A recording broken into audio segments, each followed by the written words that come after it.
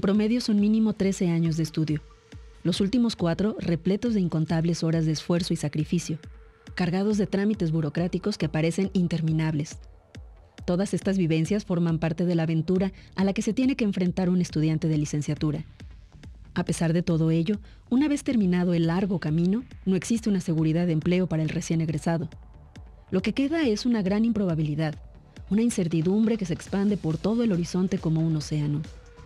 Según estadísticas, México tiene aproximadamente 73 millones de jóvenes sin trabajo, siendo uno de los países que mayor aumento tuvo en la tasa de desempleo en la población menor de 30 años, según la Organización para la Cooperación y Desarrollo Económicos. El mismo estudio señala que el 22% de los jóvenes en México, unos 40 millones, han entrado dentro de esa clasificación de los llamados ninis, ni estudian ni trabajan, y que dentro de la lista de los 34 países, solo superado por Turquía, Italia, Grecia y España. Para los jóvenes que logran sobrepasar la situación y encontrar un trabajo, se enfrentan a otro problema constante. Muchas veces tienen que elaborar en empleos asfixiantes, que cuentan con una remuneración muy reducida y en el que es imposible encontrar un crecimiento o desarrollo personal. El hartazgo ante la imposibilidad de crecer profesionalmente orilla a los jóvenes a tener que continuar viviendo en casa de sus familiares, aún entrando a los 30 años. ¿Cuál es la solución a este problema? ¿Es resultado de una actitud generacional o se trata de algo más profundo, entramado en la crisis económica en la que nos vemos inmersos? Lo que sí es bastante claro es que muchos jóvenes están tomando la situación en sus manos. Unos utilizan las nuevas plataformas digitales para encontrar una manera de trabajar y solventar los gastos, como las aplicaciones de taxis ejecutivos.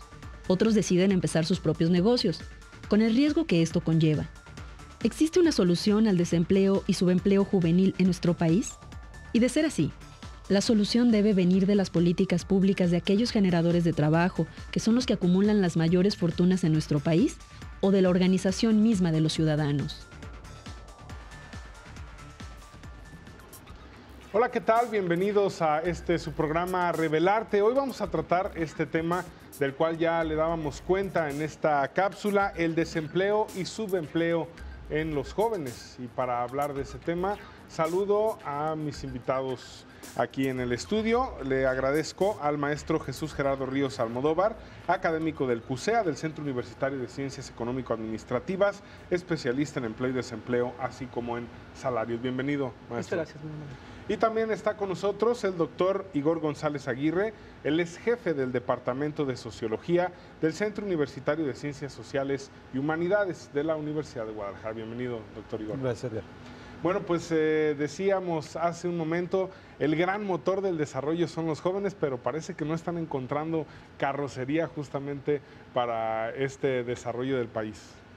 Sí, yo, creo que, planteas una muy, buena, una muy buena metáfora. Desde hace ya algunos años eh, se plantea que el sector juvenil de la población debe constituirse y se ha constituido eh, como el motor del desarrollo del, país. ¿Por qué? Porque tenemos quizá como nunca antes y quizá como nunca más vayamos a tener a un sector de la población joven en edad productiva y con una fuerza impresionante como para hacerse cargo de, los destinos del, país. Pero no basta con, tener a, un amplio sector de la población en este sentido, ¿no? sino que es necesario que ese sector de la población, el sector joven, tenga una serie de condiciones en las cuales pueda realmente aprovechar este, e, e, la, potencialidad que puede tener. Es decir, ese motor necesita, como bien lo señalas, una buena carrocería y eso es lo que está, lo que está ausente en este momento. ¿no? No, se cuenta con por lo menos dos cosas, ni con espacios educativos suficientes para aprovechar ese potencial y tampoco con eh, eh, las posibilidades adecuadas para ingresar a los mercados de trabajo, por lo menos de una, de una forma eh, de una forma digna, ¿no? que serían como las otras dos vías por las que este motor podría encontrar una buena una buena carrocería. Yo creo que ahí tenemos ausencias serias y muy importantes, ¿no? y que no pueden resolverse necesariamente en el corto plazo, o por lo menos no se ve un panorama favorable. Maestro, ¿qué panorama tienen los jóvenes en materia de, empleo y de En materia de empleo, este, pues ellos tienen, por ejemplo, una distribución así muy, muy acentuada en cuanto a actividades, por ejemplo, dependientes, la mayoría, ¿verdad? O sea, quiere decir que, y, sobre todo en, de, una, de una forma sin contrato. O sea, la mayoría de, esos tipos de trabajadores Eh, claro, hay una otra, otra parte que están en, por su cuenta, otros son empleadores, pero son, son en minoría, ¿verdad? Este, inclusive a la hora que se interactúa el, el aspecto del trabajo por cuenta propia y, el contrato, eh, tipo de contrato que, que es eh, de una manera informal, o sea, no escrito, eh, eso genera una, informalidad más amplia, o sea, un contexto informal más amplio en la, clase, en la parte de los jóvenes. Ese es en cuanto al, al empleo y, y, que estaría distribuido pues en, en ocupaciones así muy concretas, en el caso de Jalisco, en ocupaciones, por ejemplo, de servicios, en oficinistas, este, en la parte de profesionistas, comerciantes y algunos este, trabajos de industriales, que es lo que más resalta la proporción de, trabajos de jóvenes en, el ámbito de, Jalisco, según los sectores, ¿no? o este, comercio, servicios y sector industrial, que se encuentra muy, muy fuerte ahí. Sin embargo, le, menciono, este, pues no tienen una, una, suficiente garantía, o sea, existen, están bajo contrato temporal, ¿verdad? Este, y algunos no está muy, algunos que tienen contrato definido, pues serían a lo mejor este, en las cuales se puede ver un poco más de desarrollo de parte de los, para la empresa y para los jóvenes. ¿no? Eso es en cuanto al empleo. ¿no? En cuanto al desempleo, este, en Jalisco o, en, a nivel nacional, se habla de una tasa de desempleo pues alta. Por ejemplo, a veces que llega de, de 7 o 8, dependiendo el, el contexto, por ejemplo, de recesión, que puede llegar pues muy alta, ¿no? afectando. Pero eso es en cuanto a medir tasas así. Ahora, medir el número de desempleados respecto a todos los desempleados, pues yo vi que es una cantidad muy fuerte. Esa, es una, a la hora de estar revisando pues, el desagregado de datos, de microdatos, o sea, este encuentro, por ejemplo, de que, de, por ejemplo, 130 mil, pues más de 50 mil desempleados, por ejemplo, que equivale a un 40%. O sea, eso es una cifra, pues, que no se maneja, pues, o que no se identifica de esa forma, simplemente se ve por el lado de que una tasa de desempleo, pero ver el número de desempleados respecto a, a los otros, o sea, en, en, la edad de jóvenes, o sea, es, es, mucha, se me hace mucha. Claro, y que son, eh, no solamente son números, sino historias. ¿Qué le parece si regresando hablamos de los llamados ninis y por qué se les llama así? ¿Es correcto llamarles así? ¿Y quiénes son? De eso vamos a platicar después de la pausa en Revelarte.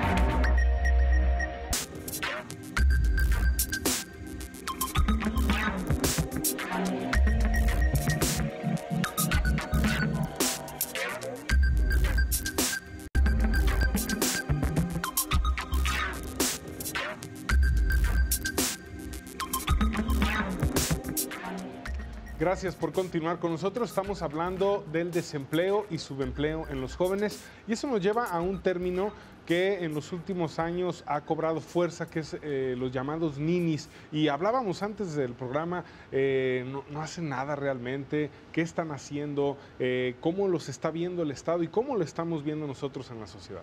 Yo, yo tendría tres cosas que señalar ahí. Una sería primero una llamada de atención con respecto al término. El término no es inocuo, pues, no, no, no, carece de consecuencias.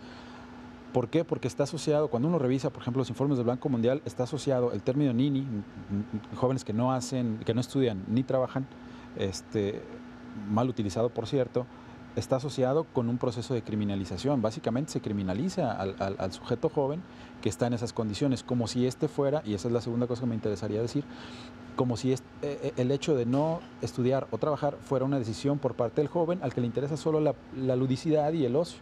Entonces decide no trabajar ni estudiar para pasársela bien cuando las condiciones son, son, son otras, ¿no? Cuando esa, esa condición, la situación de no estudiar o trabajar muchas veces está en función precisamente de que, de que no existen el conjunto de oportunidades educativas o laborales que permitan que, que, que el, sujeto joven eh, ingrese a alguno de esos, dos, de esos dos espacios. Entonces habría que tener mucho cuidado con con, con, el término. ¿Por qué? Es un término anglosajón que se utilizaba precisamente para designar al, al, a, la, a, la, a, la, población que por decisión no hacía, ni estudiaba, ni trabajaba, pues, pero es difícil trasladarlo a un contexto como el nuestro, porque más que una decisión es una imposición y tiene que ver con, bueno, muchas fallas, en, última instancia, e, esa, esa parte de la población a la que equivocadamente se refiere uno como, algunos se refieren como Nini, no hace sino poner de relieve un conjunto de fallas de parte del Estado. Y, habría que llamar mucho la, atención sobre, sobre este aspecto. Yo me cuidaría mucho de, referirme a, a, este sector de la población como, como Nini. Bueno, yo he escuchado frases como los ninis son caldo de cultivo para el crimen organizado, ¿no? Esas frases son de, personas que están en las instituciones. ¿Qué opina, eh, maestro, de estas personas que aparentemente ni están trabajando ni están estudiando?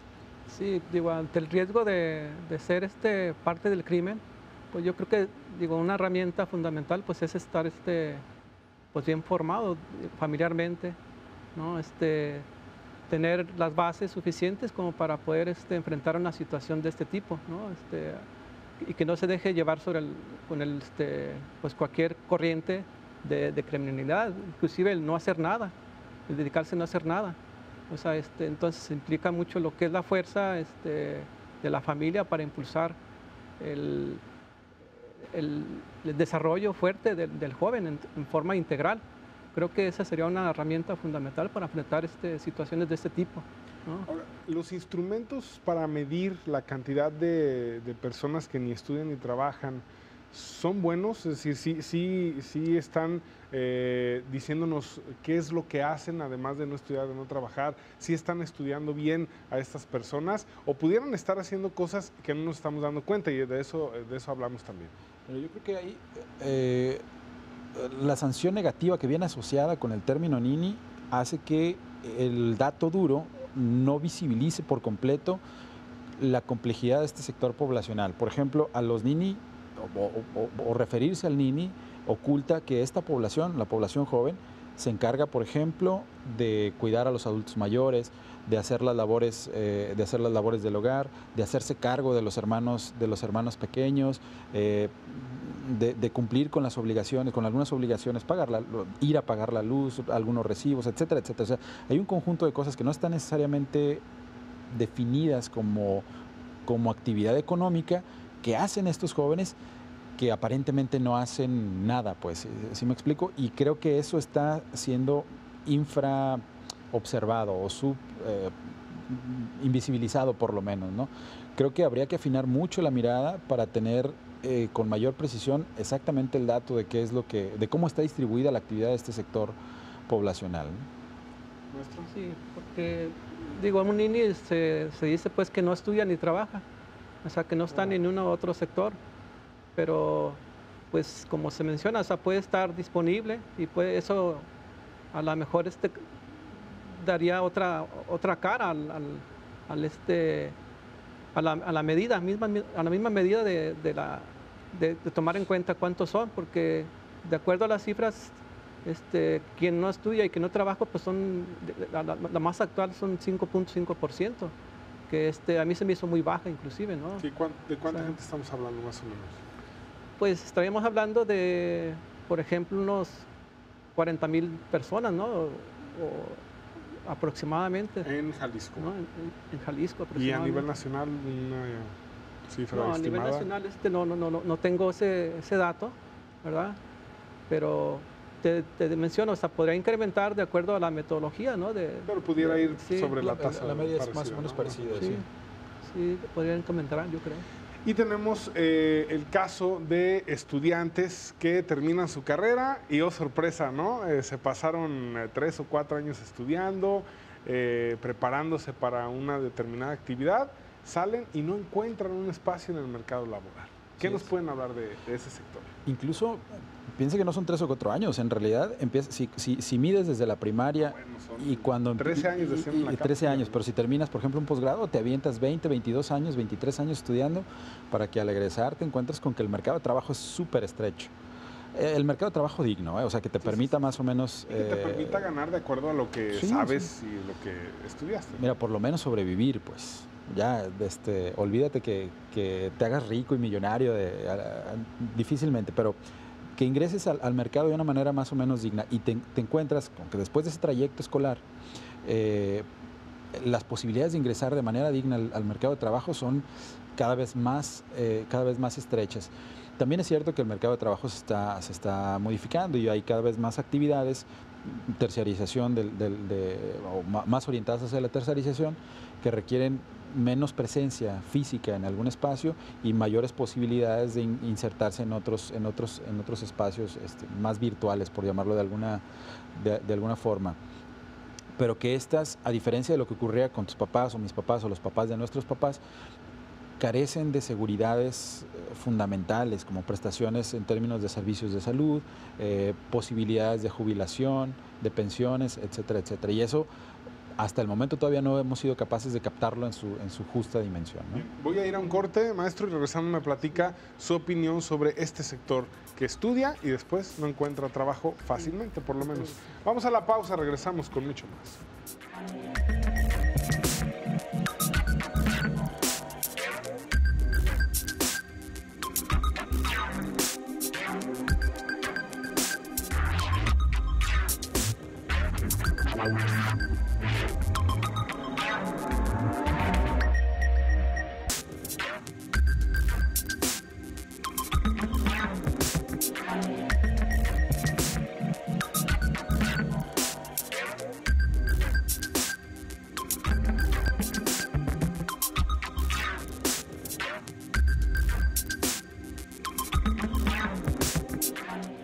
Gracias por continuar con nosotros en Revelarte. Eh, maestro, el tema del desempleo en jóvenes que estudian una carrera, una licenciatura o incluso un posgrado, ¿no? Lo comentábamos, te puedes eh, también preparar con un posgrado y tener un problema para encontrar trabajo. Sí. Yo lo que he estado revisando es este, que las grandes empresas este, siempre andan buscando, por ejemplo, practicantes, ¿verdad?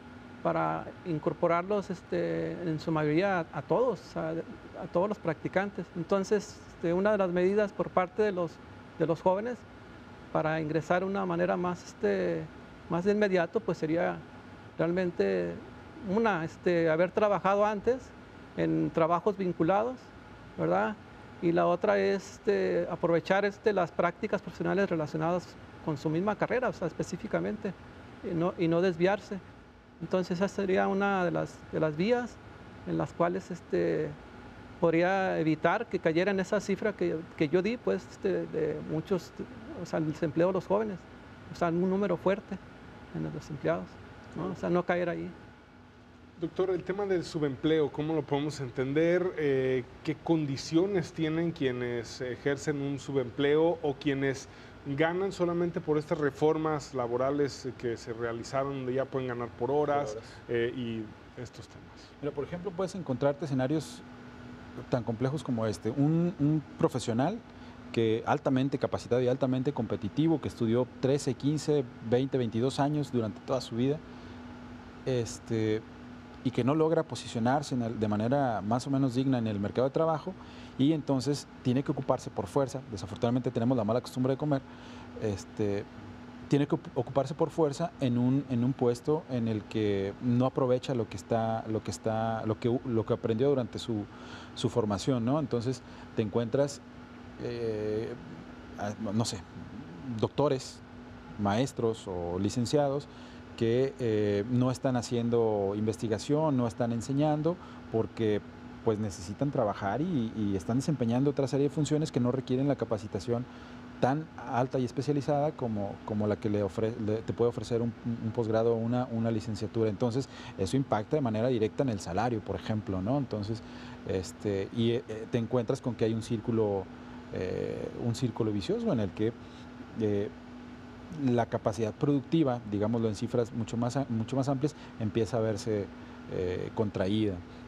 La capacidad productiva del país, porque, lo decías tú hace un momento, ese motor pues, no encuentra la carrocería, la carrocería adecuada. Entonces, eso ralentiza por completo el proceso de, el proceso de desarrollo, el proceso de desarrollo personal, pero también el proceso de desarrollo socioeconómico a nivel, a nivel nacional. O sea, tiene consecuencias fundamentales. Y aquí hay un, yo lo que veo es un escenario en el que hay un diseño de política, eh, por lo menos poco certero, pues.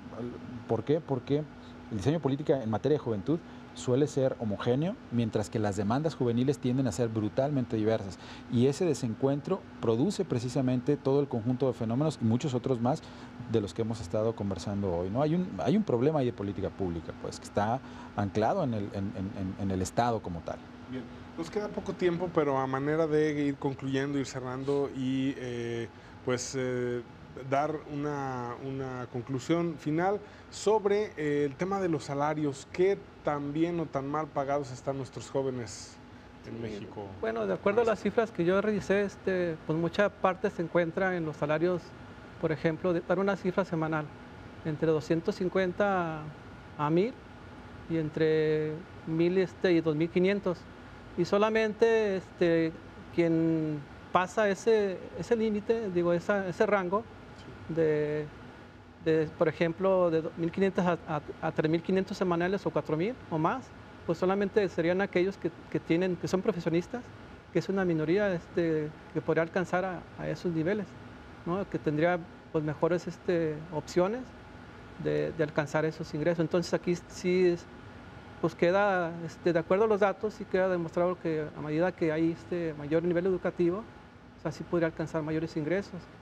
Este, y eso depende de, estar insertado también en empresas pues, que realmente este, reconozcan y que no subestimen la, capacidad de los jóvenes, porque, porque hay este, muchas empresas que, la, que, conocen que el mercado de trabajo pues falta, falta que se capacite, que haya formación y que, este, que hay mucha ineficiencia en, en, cuanto a las necesidades de las empresas. Doctor, ¿algún comentario sobre los, los salarios que están ganando nuestros jóvenes? Fíjate que a diferencia de lo que dice Gerardo, yo veo más bien un proceso de precarización y, algo mucho más grave, un proceso de criminalización de, amplios sectores de la, de la, de, la, de la, población joven. Es cierto que si a mayor escolaridad hay mayor posibilidad de obtener un, un mejor salario, pero no siempre es así. Este, hay yo más bien observo lo que podría llamarse como una especie de violencia estructural por parte de, algunos eh, sectores estatales que tienden a esto, a mantener a la población joven con salarios eh, bajos cuando logran obtener algún salario este, y eh, en última instancia que suelen criminalizar a este sector de la población, lo cual me parece altamente, altamente preocupante yo no estoy seguro de que haya, de que sea obligatorio que, adecuemos los procesos educativos a las demandas, estrictamente a las demandas eh, laborales, porque eso implicaría eliminar aspectos como la preparación en humanidades, la preparación en filosofía, la preparación en sociología, eh, que, son miradas o que ofrecen miradas críticas y que no necesariamente son altamente demandadas por los sectores productivos. Yo tendría cuidado con ese tipo de política pública. Sí, es complicado, muy complicado. Sí. Bueno, pues desafortunadamente se nos terminó el tiempo. Quería dar un comentario así muy breve. Sin embargo, este, el, presidente Peña Nieto pues anda promoviendo esto, ¿no? O sea, este, la, eh, que haya más técnicos, ¿no? Inclusive el, intercambio con, con, otros países como Suiza o Suecia. ¿no? Así es. Bien, pues les agradezco a ambos. Muchísimas gracias a Jesús Gerardo Ríos, maestro académico del CUSEA, y también al doctor Igor González Aguirre, jefe del Departamento de Sociología del CUCH de la Universidad de Guadalajara. Esto fue Revelarte, yo soy Edgar Olivares, gracias, hasta la próxima.